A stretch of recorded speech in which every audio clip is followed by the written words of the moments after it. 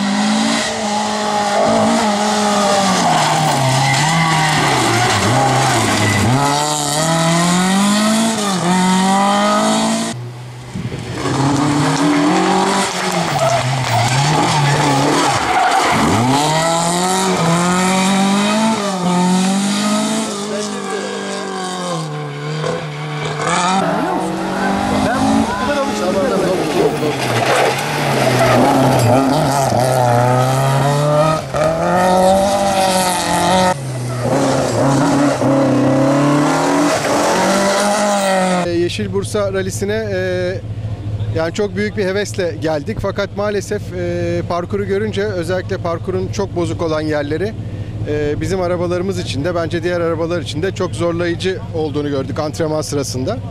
E, ama tabii yapacak bir şey yoktu yani bu saatten sonra. Ancak parkurun yanlış verildiğini düşünüyorum. O ayrı bir konu. Onu herhalde yetkililer değerlendirirler. Yarış bizim için iyi geçti. Ee, sabah tabii bir talihsizlik oldu. Ee, günün ikinci etabını zaten derecesiz geçmek zorunda kaldık. Çünkü etap startı verilemedi. Ee, daha sonra Soğukpınar etabında e, maalesef önümüze bizim karşı taraftan gelen bir trafik çıktı. Ama etabı tamamladık. O, e, o etapta aynı zamanda spin atmıştık. Kötü bir zaman yaptık fakat daha sonra topladığımız zamanlarla takım arkadaşımız Engin'in arkasında bitirdik yarışı. Mutluyuz aslında aldığımız puanlar açısından. güzel bir güzel bir bursaydı diyebilirim netice itibariyle ama e, bir takım e, talihsizlikler de oldu. Başta e, en başta e, etapların e, inanılmaz bir şekilde yani belki %60-70'i stabilize edenebilecek e, nitelikteydi. Ve yani asfalt yarış demek için buna herhalde bin şahit ister. E, bu değerlendirmelerimizi biz e, TOSFET'e de bildireceğiz zaten. E, bu tip şeylere izin vermemek lazım. Çünkü burada yani insanlar e, canlarıyla mücadele ediyorlar. E, otomobiller e, dünya kadar zarar görüyor. Onun dışında e, onun dışında her şey iyiydi. Yani her şey iyi derken bir sürü aksilik oldu ama sonuç bizim için iyiydi en azından. Bonus Airfree Parkur Historik Ford Escort MK2 Cause hate may win some battles, but love wins in the end. You shine just like